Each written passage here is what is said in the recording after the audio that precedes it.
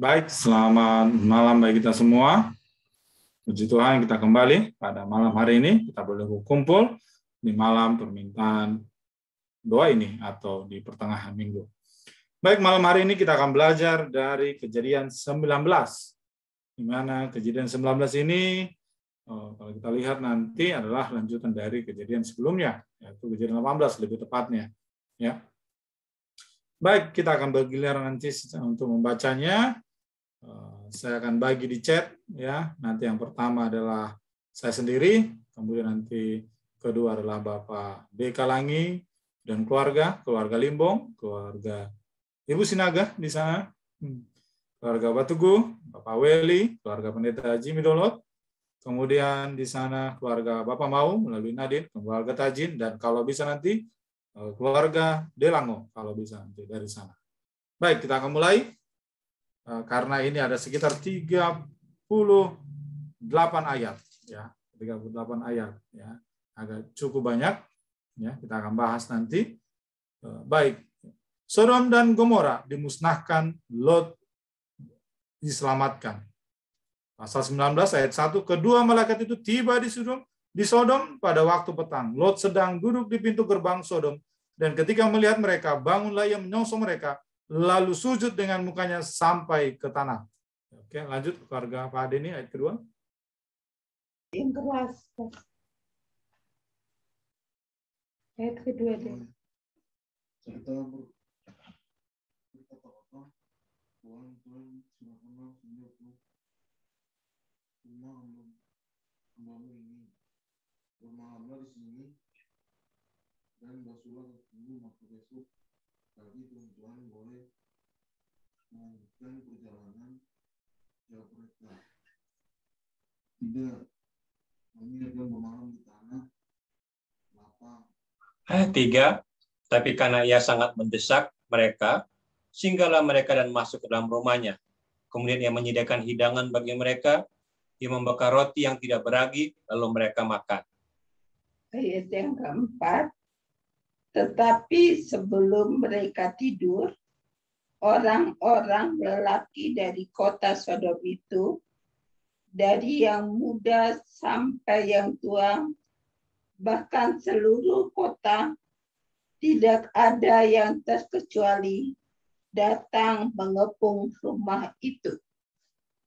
Silakan. Oke, lanjut keluarga Limbo.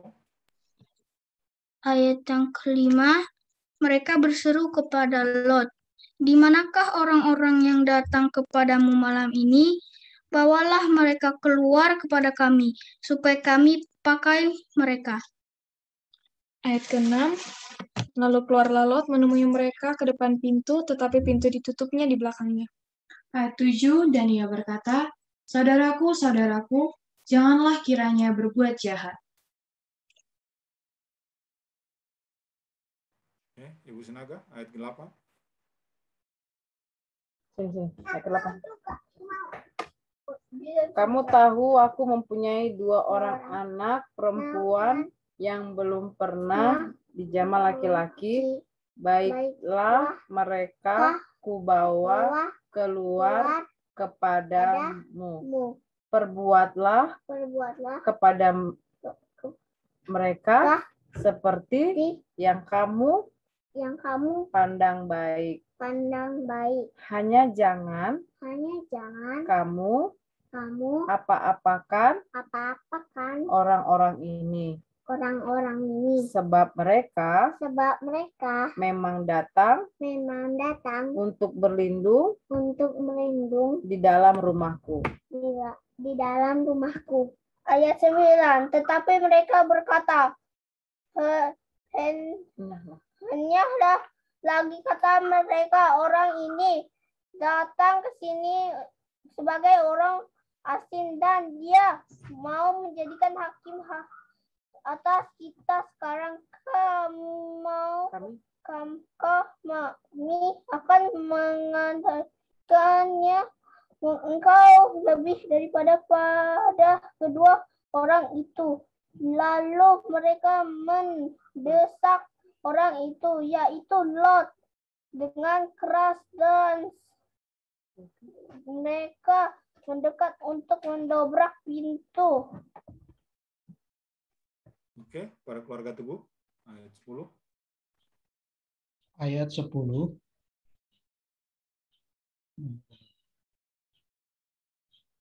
Tetapi kedua orang itu mengulurkan tangannya, menarik Lot masuk ke dalam rumah, lalu menutup pintu.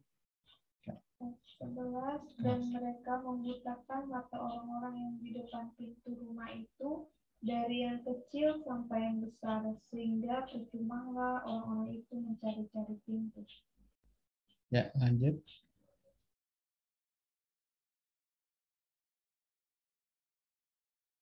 Pak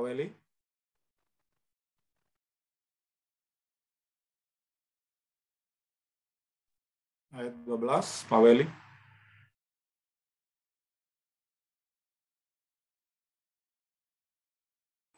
Ya, saya ulangi. Lalu kedua orang itu berkata kepada Lot, Siapakah kaummu yang ada di sini lagi? Menantu atau anakmu laki-laki, anakmu perempuan, atau siapa saja kaummu di kota ini, bawalah mereka keluar dari tempat ini. Lanjut. Pak Pendeta, ayat 13.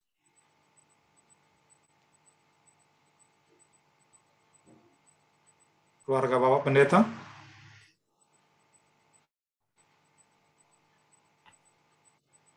Sebab kami akan memusnahkan tempat ini karena banyak keluh kesah orang tentang kota ini di hadapan Tuhan.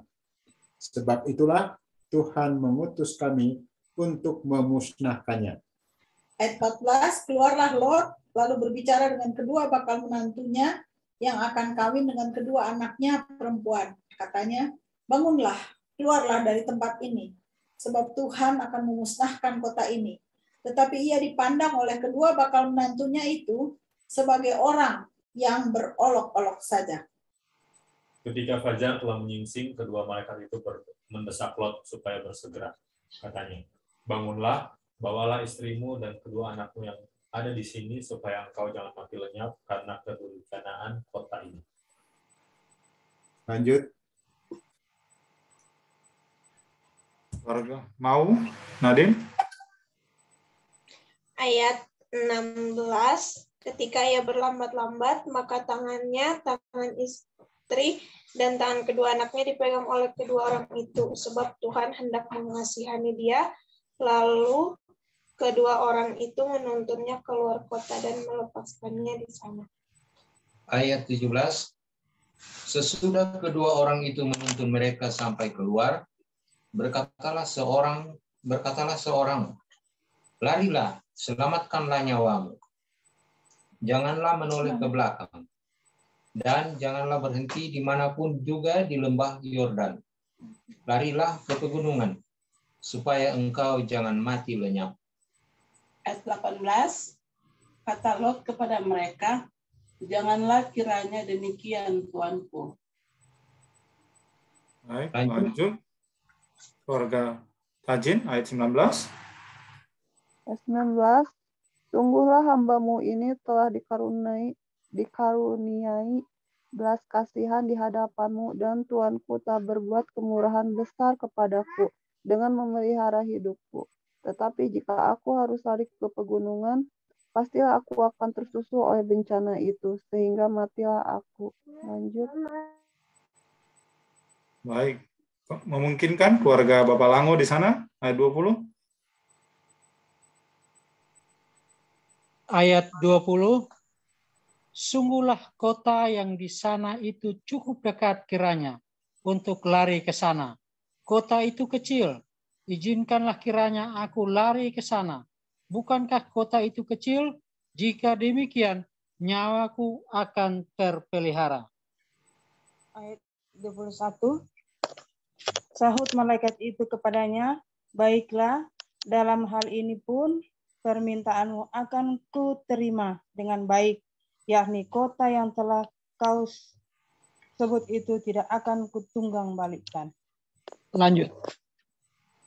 Baik. Ayat 22. Cepatlah lari ke sana, sebab aku tidak dapat berbuat apa-apa sebelum engkau sampai ke sana. Itulah sebabnya nama kota itu disebut Joar. Lanjut, keluarga Bapak Deni, ayat 23. 23 deh. Matahari mulai terbit menyinari bumi Ayat 24, kemudian Tuhan menurunkan hujan belerang dan api atas Sodom dan Gomora berasal dari Tuhan dari langit. Ayat yang ke-25 dan ditunggang balikannya lah kota-kota itu dan lembah Yordan dari semua penduduk kota-kota serta tumbuhan-tumbuhan di tanah. Lanjut. Baik, ayat 26, keluarga Limbo.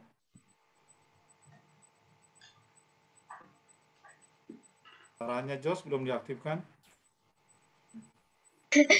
Ayat yang ke-26, tetapi istri Lot yang berjalan mengikutinya menoleh ke belakang, lalu menjadi tiang garam.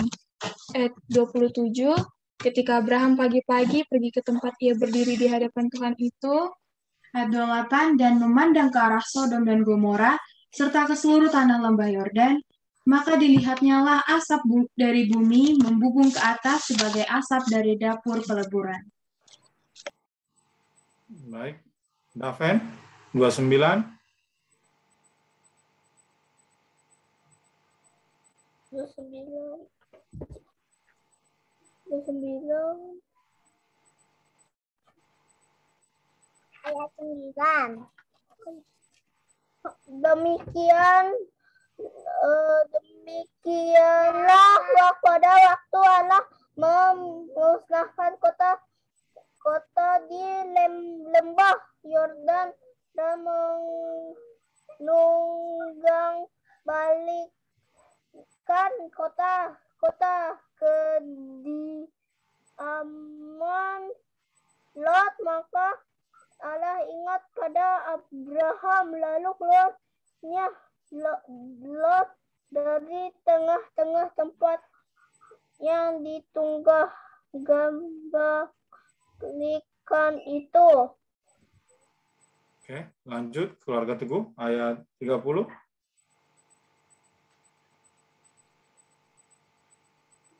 Lot dan kedua anaknya perempuan. Ayat 30. Pergilah Lot dari Zoar dan ia menetap bersama-sama dengan kedua anaknya perempuan di pegunungan. Sebab ia tidak berani tinggal di Zoar. Maka diamlah ia dalam suatu gua beserta kedua anaknya. Kata kakaknya kepada adiknya, ayah kita telah tua dan tidak ada laki-laki di negeri ini yang dapat menghampiri kita, seperti kebiasaan seluruh bumi. Lanjut. Baik, Pak Weli, ayat 32. Ayat 32, marilah kita beri ayah kita minum anggur, lalu dia tidur dengan lalu kita tidur dengan dia supaya kita menyambung keturunan dari ayah kita. Lanjut. Bapak Pendeta. Pada malam itu mereka memberi ayah mereka minum anggur. Lalu masuklah yang lebih tua untuk tidur dengan ayahnya. Dan ayahnya itu tidak mengetahui ketika anaknya itu tidur dan ketika ia bangun. Keesokan harinya berkatalah kakaknya kepada adiknya, Tadi malam aku telah tidur dengan ayah. Baiklah malam ini juga kita beri dia minum anggur. Masuklah engkau untuk tidur dengan dia supaya kita menyambung keturunan dari ayah kita. Lanjut. Ayo, Nadine, ayat 35. Ayat 35, demikianlah juga pada malam itu mereka memberi ayah mereka minum anggur, lalu bangunlah yang lebih muda untuk tidur dengan ayahnya, dan ayahnya itu tidak mengetahui ketika anaknya itu tidur ketika ia bangun. Ayat 36, lalu mengandunglah kedua anak Lot itu dari ayah mereka. Ayat 37 yang lebih tua melahirkan seorang anak laki-laki dan menamainya Moab. Dialah bapak orang Moab yang sekarang. Lanjut. Lanjut, keluarga Tajin, ayat terakhir. 38 yang lebih muda pun melahirkan seorang anak laki-laki dan mereka menamainya Ben Ami. Dialah bapak Bani Amun yang sekarang. Amin. Baik, terima kasih kita sudah baca bacaan kita pada malam hari ini, di mana ya, ini sering kita sering ya, anak-anak juga sering nyanyikan dari ayat ini ya, eh, kalau kita dengar. Baik, kalau kita lihat merujuk daripada kejadian 19 ini, kita akan lihat dulu di kejadian di ayat 18. Sebenarnya di sini eh, Abraham sudah mengetahui juga ya bahwa akan Sodom Gomora ini akan apa? Musnahkan. Dan dia juga bernegosiasi ya kepada Tuhan. Bernegosiasi supaya apa? Supaya jangan dimusnahkan ini kota, ya. Tapi kita lihat jelas di Sodom dan Gomora ini adalah kota di daerah lembah Yordan. Ya, ada lima kota di sana, yaitu Sodom, Gomora, Atma, Jeboim, dan Joar. Ya, daerah lembah Yordan adalah daerah yang sangat subur. Ya, banyak airnya. Ya, seperti kalau kita baca di Kejadian 13 ayat 10, di sana seperti seperti taman Tuhan. Ya, karena sangat suburnya. Ya, daerah lembah Yordan ini sangat indah, subur dan makmur. Tetapi ya orang-orang Sodom dan Gomora ini sangat jahat pada Tuhan. Ya. Kalau kita lihat bagaimana kisah penghukuman terhadap Sodom dan Gomora ini, ya di sini juga disisipkan bagaimana penyelamatan terhadap apa? Bagi Lot. Ya. Sodom dan Gomora dimusnahkan Allah karena apa? Karena dosa penduduknya. Allah sendirilah yang melakukan tindakan pemusnahan itu.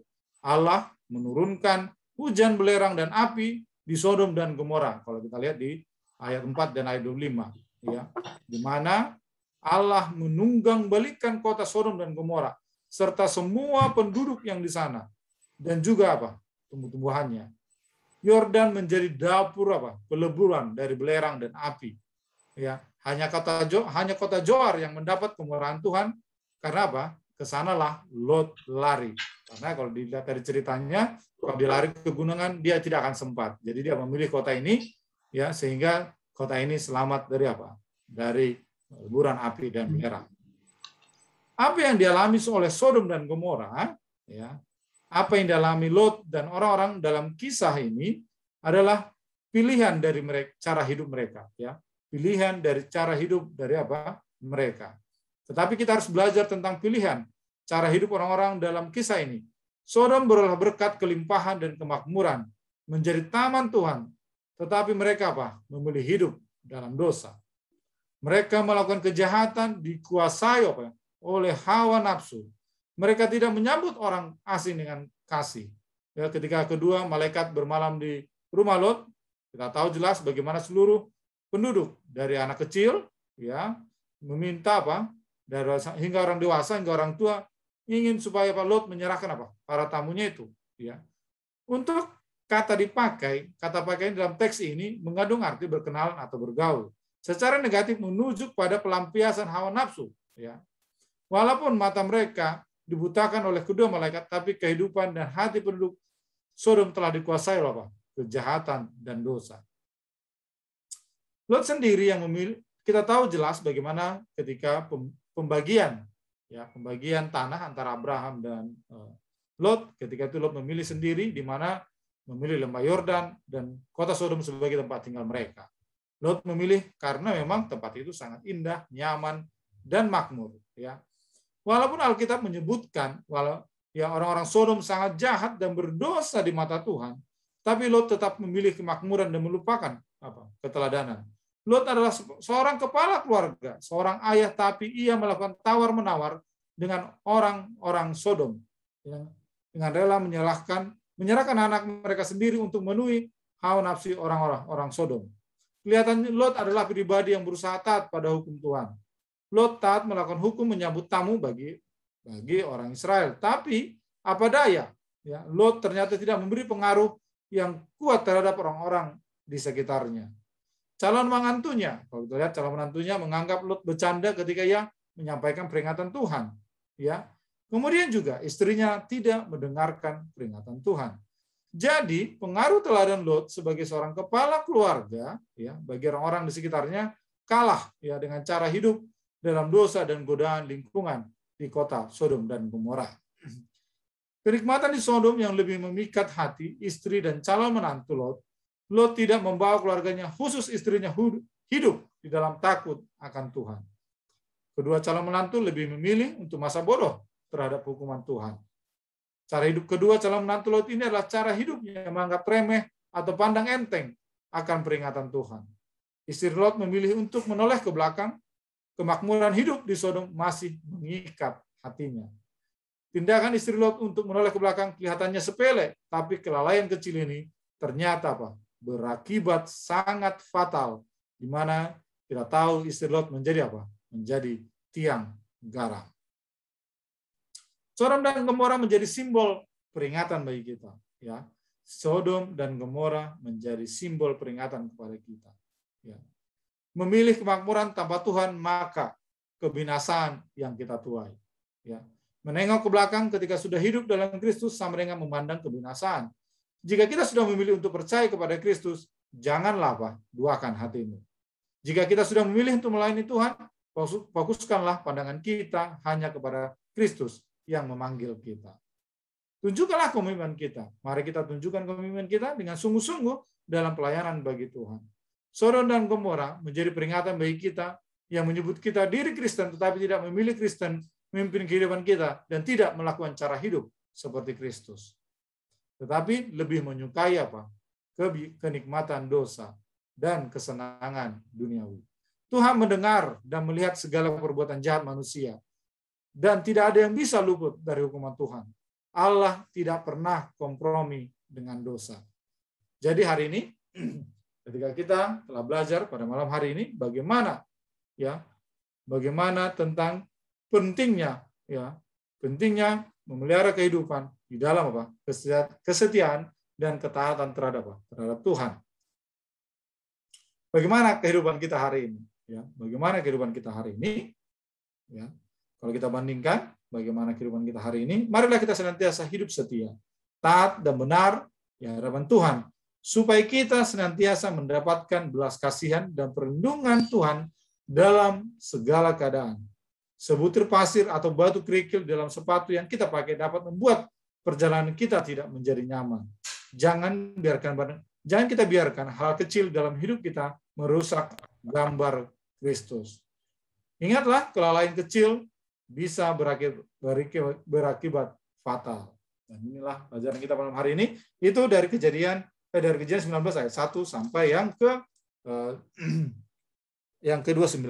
Ya, kalau kita lihat kejadian 30 sampai yang ke 38 ini menjadi tidak contoh yang tidak baik bagi kita karena jelas sebenarnya masih ada di sana keluarga daripada Abraham sebenarnya ya. Atau masih ada keturunan Abraham. Tetapi mereka melihat bahwa ini juga salah satu yang tidak apa keturunan ini kita tahu bagaimana keturunan Moab ya. Keturunan juga Bani Amon ini memang dari sinilah apa menjadi sebuah bangsa, bangsa Hamon dan bangsa Moab. Yang kita tahu juga menjadi bangsa yang tidak apa? Tidak taat kepada Tuhan. Jadi pelajaran kita malam hari ini mengingatkan kepada kita. Nah, dibandingkan juga dengan kehidupan kita pada saat ini, ya supaya kita melihat bahwa dunia ini tidak ada apa-apanya. Ya, dunia ini tidak ada apa-apanya karena seperti Sodom Gomora, dunia ini juga akan apa? Akan dimusnahkan. Ya, akan dimusnahkan. Sama seperti bagaimana api belerang ya yang terjadi kepada Sodom dan Gomora begitu juga akan dunia ini ya jadi kita tidak boleh terpikat oleh dunia ini seperti yang dilakukan oleh Sodom Gomora ya. Karena cerita ini ya, ini kita lihat bagaimana masih di kejadian tetapi bisa menggambarkan kejadian pada saat ini ya. Itu sungguh sangat luar biasanya kitab dari kitab firman Tuhan yang ini ya. Masih relevan pelajaran kita ini ya. Masih sangat relevan sangat berhubungan dengan kita ya. Inilah gunanya mungkin kita belajar bahwa kita secara keseluruhan kita belajar kitab sehingga kita paham benar bahwa yang terjadi pada hulu juga akan terjadi pada saat ini ya dan di sini supaya kiranya firman Tuhan ini menguatkan kita supaya kita benar-benar ya taat kepada Kristus berlindung kepada Kristus tidak terpikat oleh kenikmatan duniawi Itulah pelajaran sedikit pada malam hari ini. Bila ada pertanyaan atau tambahan, mari kita diskusikan. Kembali kepada Joses. Oke, baiklah. Terima kasih atas renungan yang sudah dibawakan oleh Pak Beni.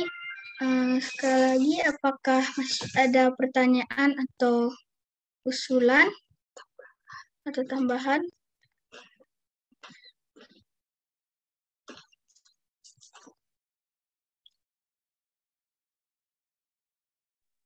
boleh bertanya? Ya, silakan. Eh, dari cerita Lot ini kan ada dia orang yang taat juga ya, tapi ternyata eh, kedua anaknya itu memberi anggur berarti memberi Lot itu mabuk ya.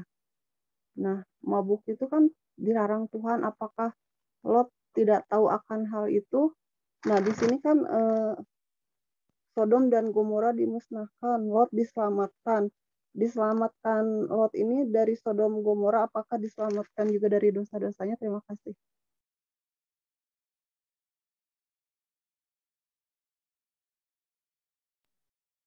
Baik, terima terima kasih.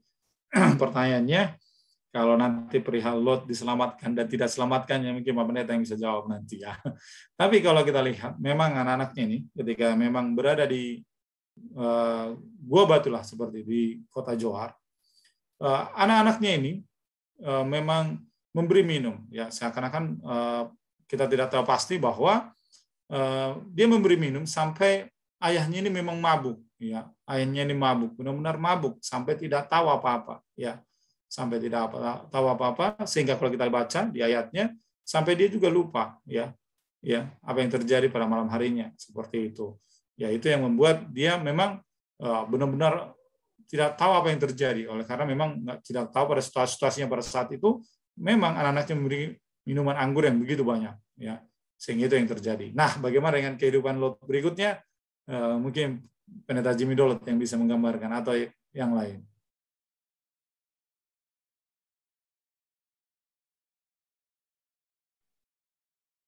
Baik, terima kasih. Saya ingin mengulas sedikit ya apa yang sudah kita baca barusan. Ya, uh, kalau kita lihat bagaimana sambutan Lot pada waktu dia melihat dua orang ini. Dia berada di pintu gerbang ya. Artinya apa? Lot ini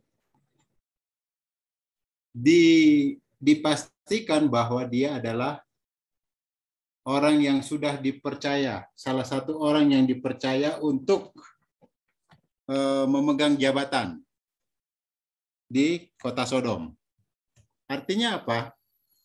Artinya bahwa Lot ini dia akhirnya terbawa arus dengan keadaan kota Sodom. Walaupun dia tidak melupakan apa yang diajarkan selama berada di rumah tangga dari apa? Dari Abraham ya. Tapi oleh karena pengaruh-pengaruh yang terjadi di tempat yang dia pilih sendiri, yang notabene-nya orang-orang Sodom ini merupakan orang-orang yang durhaka ya kehidupan mereka. Jadi eh, dengan demikian kita bisa eh, menyimpulkan bahwa apa yang dipilih oleh Lot itu bukannya dia memilih untuk hidup yang lebih dekat kepada Tuhan, melainkan dia eh, menginginkan tanah yang subur, ya. Dia tidak memperdulikan pengaruh-pengaruh yang ada di dalam kota Sodom. Oleh sebab itu, pada waktu itu ya walaupun Abraham sudah mengadakan doa syafaat untuk kota Sodom ini tetapi dosa dari kota Sodom ini tidak bisa diampuni. Ya, dosa Sodom ini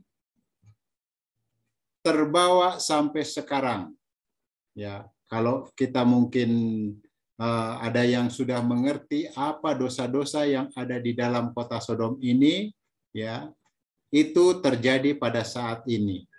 Sodom, uh, asal kata atau uh, arti kata dari sodomi ya, sodomi. Sodomi artinya perkawinan campur yang ada sekarang ini ya laki eh, bukan bukan perkawinan campur, perkawinan sejenis ya itu terjadi saat ini di mana pria dengan pria bisa menikah, kemudian eh, perempuan dengan perempuan. Nah, ini sudah disahkan. Ini mengingatkan dari kejadian pada waktu Sodom. Dan oleh sebab pengaruh dari eh, kota Sodom dan Gomora ini membawa istri dari Lot ini masih menginginkan untuk melihat uh, keduniawian. Apa yang dia ingin ya yang yang yang yang dia masih inginkan di belakangnya ya. Sehingga dia menoleh ke belakang. Akhirnya dia uh, menjadi tiang garam yang dicampur oleh uh, dengan belerang. Kita lihat sejarahnya di sini bahwa patung dari istri Lot ini uh, bertahan sampai bertahun ya sampai uh, beberapa tahun katanya. Ini menjadi satu peringatan bagi orang-orang yang ada di situ. Kemudian yang berikut bagaimana pengaruh dari kota Sodom ini terhadap anak-anak perempuan Lot ya. Ini terjadi di saat mereka tidak betah di Zoar, kemudian mereka mengungsi ke satu goa ya. Di goa itu uh, mereka hidup ya Lot dan dua anaknya. Nah oleh karena pengaruh-pengaruh dari uh, kehidupan di Sodom dan Gomora ya ini harusnya tidak akan terjadi kalau dia kalau mereka ini tetap memiliki kepercayaan atau iman kepada Tuhan ya tetapi pengaruh dari Sodom dan Gomora begitu kuatnya sehingga mereka ya mereka uh, merencanakan hal itu. Mereka mengetahui itu tidak dibenarkan. Hanya hanya alasan saja mereka sampai eh, melakukan hal itu eh, terhadap Lot ayah mereka ya sehingga melahirkan dua bangsa dari dua perempuan ini, yaitu Amon dan Moab. Kita ketahui bersama-sama bahwa bangsa-bangsa inilah yang sering terjadi peperangan pada waktu zaman raja-raja ya. Salah satunya raja-raja uh, Raja Daud dengan raja raja-raja yang lainnya ya. Bangsa. Nah, bangsa Amon dan bangsa Moab ini uh, sering berperang dengan bangsa Israel. Kemudian untuk jawab uh, jawaban dari uh, Ibu pertanyaan dari Ibu Desi tadi, ya kita juga tidak bisa uh, memastikan bahwa apakah Lot ini berdosa atau tidak ya. Tapi yang namanya mabuk itu uh, memang tidak dibenarkan ya. Lihat pada waktu zaman Nuh bagaimana pada waktu uh, Nuh mabuk ya, dia sampai lupa diri sampai anaknya yang bungsu itu berdosa oleh karena melihat aurat dari ayahnya atau dari Nuh. Dan ini juga terjadi ya, mengingatkan kembali bagaimana mabuk itu tidak diber, di, di, tidak berkenan di hadapan Allah ya. Tidak bukan hal, bukan hal yang benar itu dia. Jadi apakah dia masuk surga atau tidak itu ah, yang menentukan Tuhan ya. Bukan bukan tidak bisa menjawab, tapi kita bisa uh, simpulkan saja ya bagaimana uh, keadaan dari Lot selanjutnya. Baik, terima kasih. Baiklah, terima kasih pada yang sudah memberikan pertanyaan dan juga tambahan.